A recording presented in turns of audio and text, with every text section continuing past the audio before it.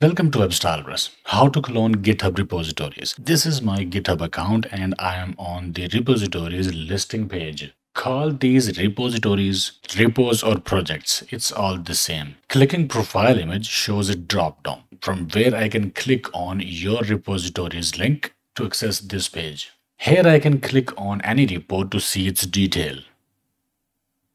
These are the files this repo has got. This is branches dropdown.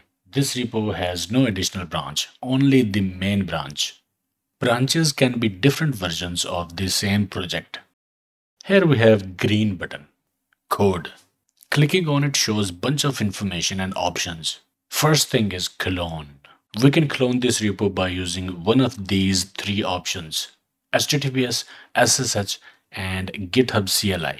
I will show you all these methods. HTTPS is the same secure protocol that browsers use to securely connect to websites. This method is more suitable for those who might be working behind strict firewalls since HTTPS is rarely blocked. If you are not behind strict firewall and security, use SSH option to clone the repo.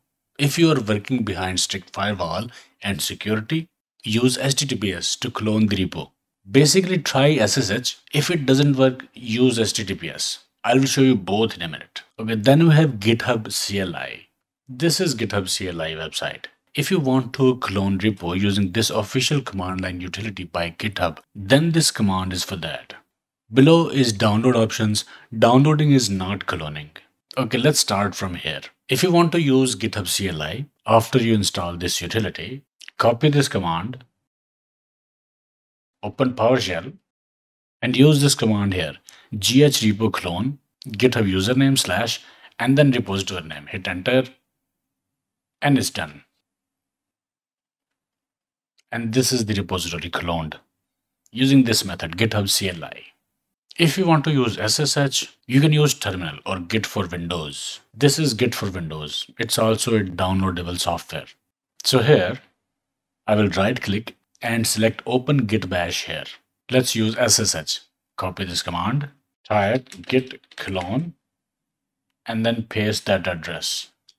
Hit enter. Done. Repository cloned. Let's use HTTPS. Copy the address. In this folder, right click, click open git bash here, type git clone, right click, paste, paste the address, hit enter done. Repository cloned. So with https and ssh you'll have to add git clone in the command.